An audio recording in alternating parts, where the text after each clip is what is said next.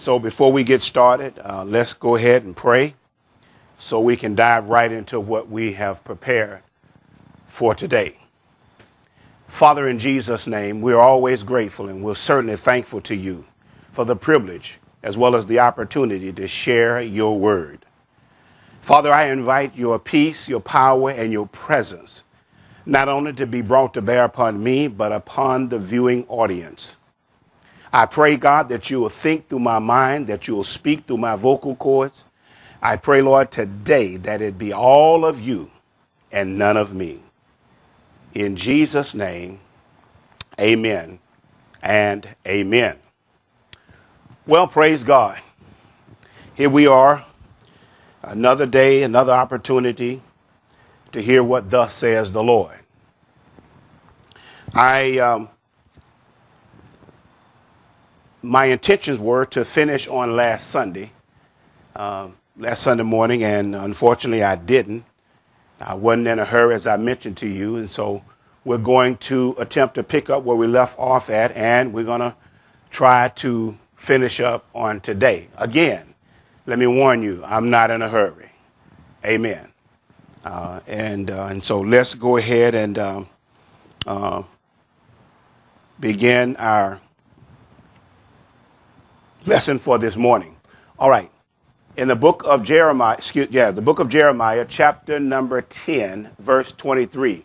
Well, by now, certainly your Bible ought to fall open uh, in that particular place because this is where, uh, for the last five weeks, uh, we have um, um, started at, and that is with Jeremiah chapter 10, verse number 23. And we're, go- we're going to read it from the Amplified translation. Uh, of course, in my mind's eye, the Amplified Translation always brings it out uh, and, and place emphasis where uh, emphasis is needed. All right, so here we go.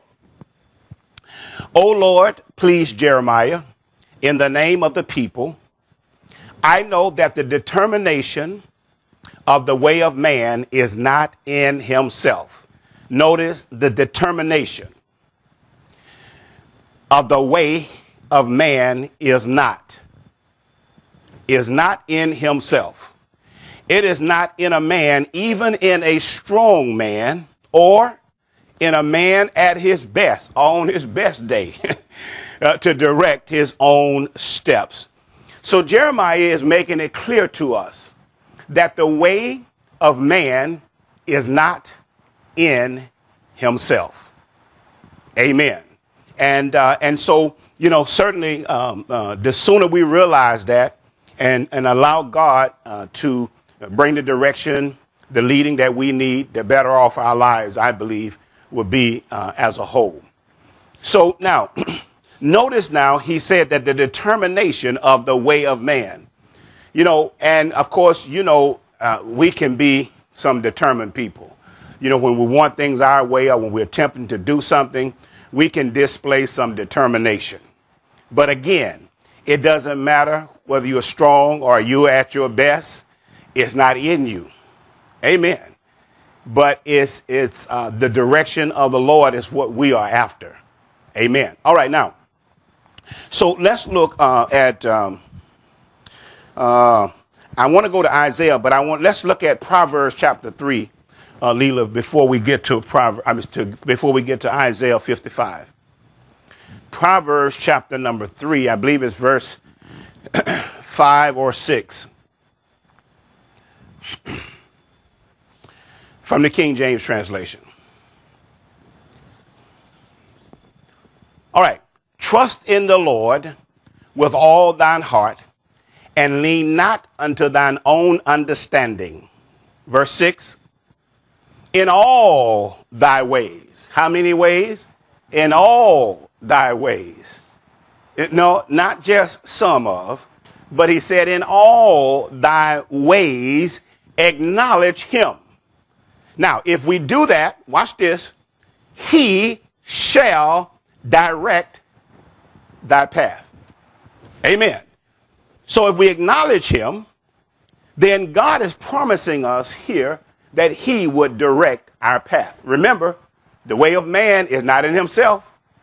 Amen. So if we acknowledge him, and I believe the implication here is God wants us to get to the place, listen to me, child of God, where we depend upon Him, where we look to Him.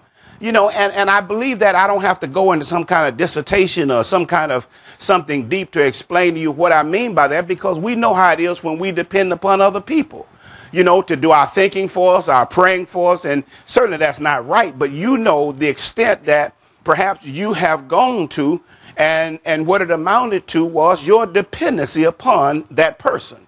Well, God wants us to depend upon Him. You know, He wants us to realize what's not in us. Amen.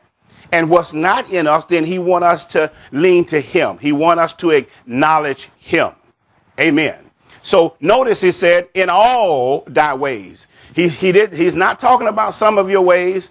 God is emphasizing this word all is just not in here just to hold up the pages of the Bible or just to be saying something. But the, the implication here is that in all of your ways, all of your ways, acknowledge him. And he, that's a promise now. Notice, and he shall, not might, but he shall direct thy paths. Amen. All right, so now let's go to Isaiah 55 uh, verses 7 and 8. So we see, while we're turning to Isaiah, we see here, child of God, that Jeremiah recognized that the way of man was not in himself or is not in himself. And what he's doing is showing us, listen, he's showing us a better way. Amen, as opposed to our way. Now, child of God, you know, you know, the scripture says it's not in you. But now, if you want to take it upon yourself, amen, uh, to, you know, to go about your own way of doing things, and, and of course, we know that that has, you know, for, for centuries have gotten us in trouble. You know, the Bible even said that, that, that uh, there is a way that seemeth right unto a man, but the end thereof is death and destruction. See, so there is a way that seem right, seem right. It looks right, it smells right, it looks right, but the end thereof is death and destruction. I don't want death and destruction in my life. I don't have a problem in acknowledging God. Amen. So now let's look at Isaiah 55, verse 7. Notice what this verse says. Let the wicked forsake his way, his way. Let him forsake his way, and the unrighteous man his thoughts, and let him return. Um, and I, I emphasized this word return on last week and I want to reemphasize it again. You cannot return from something unless you've gone there before. So notice he said, let him return unto the Lord. Now, this could just be me. But I believe what's happening here is that the wicked, listen, he said, let him forsake his way. Well, it was his way that led him away. So now the emphasis is let him forsake.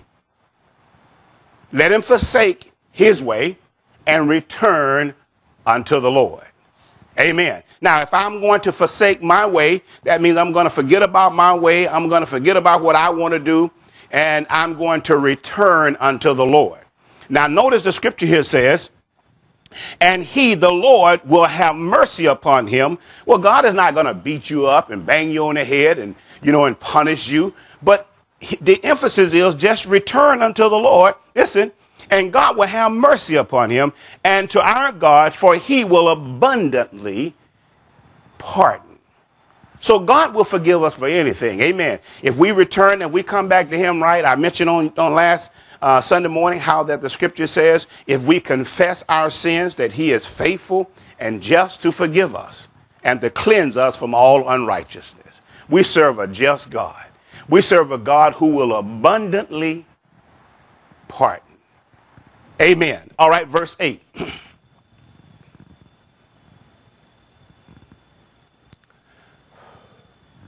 notice God said, notice what God is saying here. Now, he's saying, he's saying here that my thoughts are not your thoughts.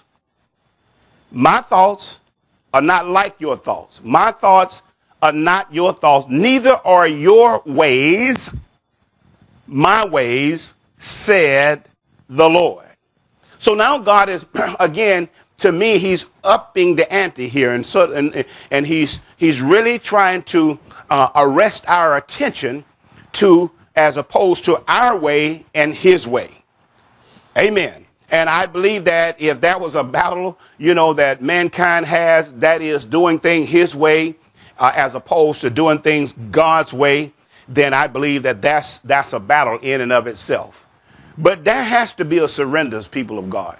There has to be a place that we come to in our lives to where we totally, listen, where we totally surrender our will, our way, ourselves unto God. Amen. For his will, amen, and his purpose and plan for our lives. We need God to direct our steps. Amen. Now, so let's look, if you will, uh, at uh, Proverbs, uh, let's see, 20, Proverbs chapter 20, verse 24. Proverbs chapter 20, verse 24. Man's goings are of the Lord. How can a man then understand his own way? Now he's saying, now you can't even understand your own way. Your goings is of the Lord. Then how, this is a question, how can a man then understand his own way? Amen. So now notice the scripture says, understand his own way. Well, that's what we want. We want to understand God's way as opposed to understanding our way. Amen. Now we're going to get into some things here that I believe that's going to be an eye opener for some. And of course, uh, maybe for many of you, this just going to be a time of just watering. But for many of you, it's going to be a time of planting. Amen. So, so notice he says man's goings are of the Lord. How can a man then understand his way? Let's look also at Psalms 37 and 23. Psalms 37 and 23. All right. The steps of a good man. Now, why would he emphasize good? I, I, I believe that, in fact, other translators say the steps of the righteous or the steps of the just. So he's talking about people that are in right, listen at me now, right relationship with God. And there, there is a, uh, a reason for this, and, I, and I'll bring it out. Uh, the steps of a good man are ordered by the Lord. And he that is God delighteth in his way. Not notice the steps of a good man are ordered by the Lord. A good man. See, God is not going to, he can, and, and, and of course, this, this, this, um, you, you can see it running, ran, running all through the scripture. God can, listen, he can order anyone's steps. But you see, it's a good man's steps that he orders. Why a good man? Because, see, our spirit man has to be right with God. Our heart has to be right with God. Amen. Our heart and our spirit, of course, is one and the same. Uh, but notice a good man. See, this is just not any man, but it's a good man. God orders our steps. Now, notice it said, and he delighteth in his way. Well, why is it that God delighteth in his way? Because he's following God's way, or because we're following God's way. See, child of God, it is very important that we know, that we understand, that we comprehend, that we can discern God's way. In other words, uh, his way. In fact, let me bring this out when I say God's way. Let me, let's, let, me, let me emphasize something here. When the scripture speaks of God's ways, it's referring to much more than his actions or facts about his nature. His ways include, watch this, his manner, his motivation, his desires, his thoughts, and purposes. Amen. One more time now. His manner, his motivation, his desire, his thoughts, and his purposes. And we're going to um, uh, place more emphasis on this word purposes because at the end of the day, that's what it will come down to. See, I was thinking about this this morning. You know, God will never release his power apart from his purpose. He'll, he'll never, listen, release. And we need God to release his power. Amen. Because we, we cannot place dependency upon our own ability. But notice now, notice what I said. God will never release his power apart from his purpose. So, in other words, if I want to decide I want to just go off and do this, or I want to accomplish that, and I want to, you know, uh, uh, achieve certain things, and yet that's not God's direction for me, then God will not release his power, amen, in my life so that I can go off and do what I want to do. So the emphasis here is God will never release his power apart from his purpose. So once we can lock into God's purpose, uh, you know, in other words, what it is that God wants to do, and of course, all of this has to do with what we sense in our hearts. And when I say what we sense in our hearts, our hearts has to be pure. You know, in other words, I believe this is the direction of the Lord. You know, there are no ulterior motives, there are no hidden agendas. I believe that this is the direction of the Lord. Amen. That's that's all, all we can do because God is not going to send us no email, no registered letter, or anything of that nature. so what we have to rely upon is our spirit making connection with the Holy Spirit, and and you and I moving out on what we believe that God is saying to us. So again, God never releases His power apart from His purpose. So we need the purpose of God. Amen. Hallelujah.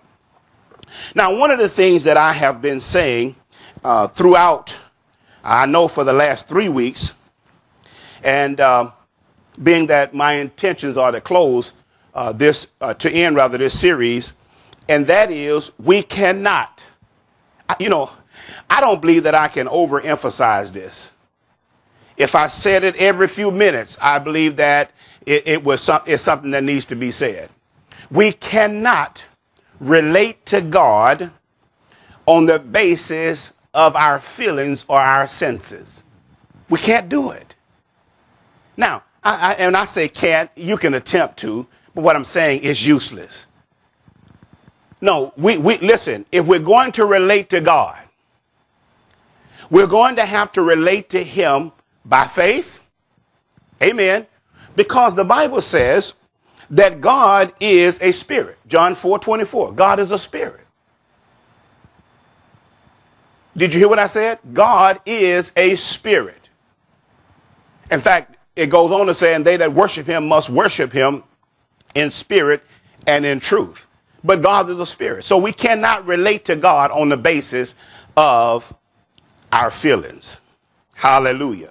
Now, of course, you know, our spirit man, when it comes to comprehending or understanding God's ways, our spirit is the key. And what I mean by that is the Bible says um, that the spirit of man, this is Proverbs 20 27, the spirit of man is the candle of the Lord, searching all the inward parts of the belly. So it's through our spirit that God will lead, guide, and He will direct our lives. So our spirit has to be in tune, amen, to His spirit for us to, you know, to, to, to get the direction that we need or to move out on what we believe the Lord is saying to us. I also have been emphasizing to you that there are three things, and I don't believe this is an, an, an, an all inclusive list, but there are three things that we must exemplify in our lives. In fact, it would not do us, you know, um, it would not uh, take away from, you know, our uh, exercise where spiritual things are concerned if we didn't dive into these areas every day. And that is, we got to trust God, we got to obey God, and we got to have faith in God. We got to trust God. We got to have faith. I mean, we got to obey God, and we got to have faith in God. See, there is a constant, consistent exercise of these three areas in particular in our lives that has to be exercised. If we're going to relate to God, there has to be trust. If we're going to relate to God, we're going to have to be obedient. Obedient in the sense of moving out on what I believe. If God tells you to do something, listen to me, child of God. If He tells you to do something, listen, and God will never tell us to do anything that's contrary to His word. Never. Never, never tell us to do anything. So, whatever God is leading us to do, amen, is in the word. You can find it in the scripture. Amen. The scripture will back it up. The scripture will validate it. So, so trust in God, uh, obedience to God, and you and I having faith in God. See, this is how we move with God. this is how you and I are able to move uh, in sync with God. And of course, uh, one of the things that I failed to emphasize from the beginning, and that is on today we're talking about embracing God's way embracing God's way. Listen, child of God, we are going to have to embrace God's way. Now, to embrace means to welcome, that is, with open arms. It means to accept or to support. Amen. So we're talking about embracing God's way as opposed to our own way.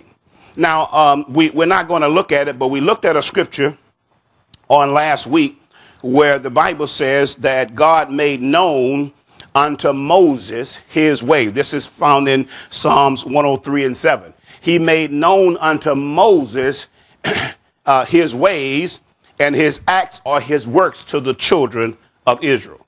So don't tell me we cannot understand God's way. You know, child of God, that would be, that's, that wouldn't even make sense because I believe that each one of us are going to be held accountable, you know, for our actions and the things that we did, you know, here on earth, you know, in relation to, you know, God's way. And if I can't understand it, amen, then, uh, you know, then how can I be held accountable for, you know, something that I never understood? Amen. So, so you can know, or we can know God's way. Amen. Or we can know uh, God's MO in terms of the way that he does things. Now, first of all, uh, let me say this. God never does anything apart from his word. Now, that is security for you and I. to know that there will never be any actions, nothing that will be said, Nothing, no, uh, will not be led in any direction. Listen, because God never does anything apart from his word. Because God and his word are one. All right, look at this. Listen to this. God never does anything apart from his love. Because he is love. so everything God does is done in love. Amen. He never does anything apart from love. Amen. Now, here are some ways uh, that um, for those of us who earnestly want to know God's ways, these are some things you can look at for sure. Number one, love. Love. God is love, of course. Uh, the Word. Number two. Number three, faith. Number four, the Holy Spirit. See, these are the ways that God operates. He operates through love. He operates through his word. He operates through and by faith. And certainly he moves and he operates by the Holy Spirit. Hallelujah. Thank God for that. Glory to God. All right. Now, the more I understand God's ways, the better I can trust him. The more I understand God's ways. See, because, child of God, let me tell you something. We live in a world where there's always people uh, that's going to try to undermine and discredit, you know, religion or Christianity or even God. Amen. But but when you know God and you know how he operates. For example, good example. If someone tells you, you know, that you know, God had to, you know, he had to destroy this. He had to, you know, um, uh, God calls uh, this building to burn down because a bunch of sinners were in there, or, you know, in other words, they are saying things to you. You know that's not the way God operates. That is not the way God operates. So, but now watch this. Suppose you didn't know that. If you didn't know that that was not God's way, and someone said those things to you, you may buy into that. You may subscribe to that, you know, and thinking, you know what, uh, that would make sense for God to burn that place down because, you know, uh, was a bunch of sinners, you know, was up in there. That's not the way God operates, child of God. And these are some things that we got to, we must, I should say, understand about God. He does not operate that way. Amen? All right, so now let's look um, in fact, I, I ended with this scripture on last Sunday morning, and I want to go back and visit it, and that is Matthew 16 and 24. We're talking about embracing God's way. All right? Matthew 16 and 24. Embracing God's way. I know a lot of times, you know, God's way to us may be slow, you know, it, it may, you know, seem to us, it, you know, it takes too long. Um, you know, and a lot of times, you know, when, when we think that way, we tend to get ahead of God. Uh, you know, uh, but again, you know, we know in reality that God's way is the best way. Amen. Now we now we know that in reality, but we need to know it experientially. That God's way really is the best way. All right. Notice this scripture. Let's look at it in the King in the Amplified translation. That way we, we want to read both. All right. Notice what this verse says. Then Jesus said to his disciples, Notice who he's talking to now. He said to his disciples, If anyone desires to be my disciple, let him deny himself. Let him deny himself. Disregard, lose sight of, forget about himself and his own interests and take up his cross and follow me. Notice his cross. And I started to emphasize this on last week. And we know just the mention of the word cross um, is um, brings about, you know, agony, uh, discomfort. Amen. But notice everyone has a cross. you know, no cross, no crown. You know, so you're going to have to take up your cross. But now notice Jesus is saying here now, you must forget about yourself. You must disregard yourself. You must lose sight of and forget uh, and, and, lose sight of and forget yourself and your own interests and take up his cross and follow me. Follow me simply means to cleave steadfastly to me, conforming wholly to my examples in living conforming wholly to my examples of living. So God has a way of uh, that He desires for us to live. Amen. And it's outlined in the book. It's, it's outlined rather in the book, brother. Amen. He has already outlined how we, or for example, the scripture says, "Be holy, for I am holy." So God expects for you and I to live a holy life.